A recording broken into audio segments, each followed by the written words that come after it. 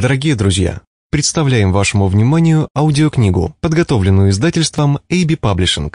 Приятного прослушивания. Рыбалка – популярный вид отдыха россиян. В данной аудиокниге рассказывается о всех современных видах рыбной ловли. Даются полезные советы и рекомендации.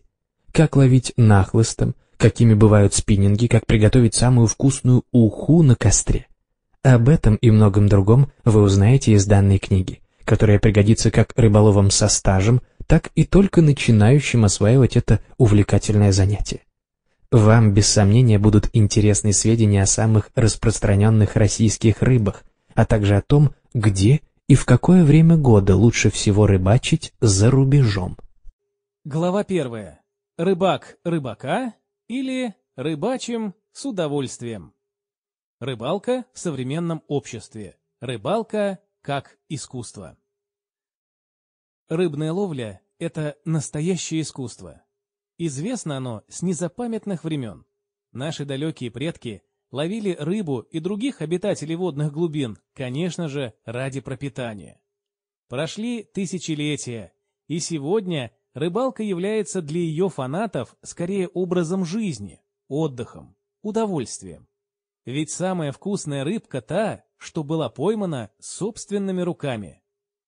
Как приятно посидеть на берегу в теплую безветренную погоду.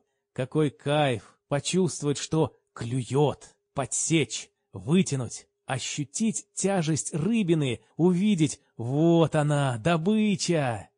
Ни с чем не сравнимые переживания. А рыбалка в экстремальных условиях. Ветер, мороз, дождь, болотистая местность.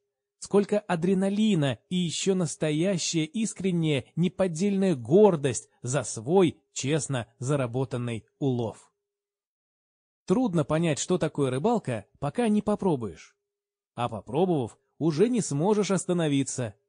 Стоит древнему охотничьему инстинкту пробудиться, и вот уже рыбак с нетерпением ждет следующей поездки на заветное озеро за самой редкой и крупной рыбой, за своей мечтой. В современном городе темп жизни, постоянные стрессы, депрессии, нервозность буквально выводят нас из себя, заставляют становиться жесткими, циничными. Мы устаем и ищем отдушину, путь назад, к истокам. Рыбалка для многих становится спасением от городской суеты. На природе у нас есть время остаться наедине с собой, в тишине, прислушаться к себе, поразмыслить. Если рядом друзья, можно весело провести время, расслабиться. Традиционно на рыбалке присутствуют алкогольные напитки, а вот закуску нужно сначала наловить. И сколько рецептов для приготовления рыбки на огне и в углях.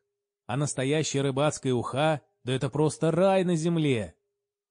У современного рыбака множество возможностей. Существует огромное количество разнообразных снастей, техник ловли, специальной одежды.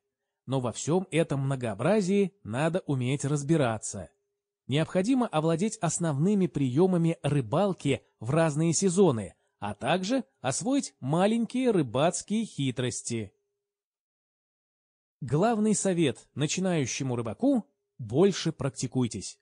Не в каждой ситуации можно применять одну и ту же оснастку, для каждого случая свои техники и методы ловли. Поэтому пробуйте рыбачить в разных местах, в разное время года, используйте всевозможные варианты ужения. В итоге вы найдете то, что более всего подходит именно вам. Если же гордое звание «рыбак» станет вашим вторым «я», увлечение может перерасти в рамки спорта. Спортивная рыбалка популярна у любителей посоревноваться.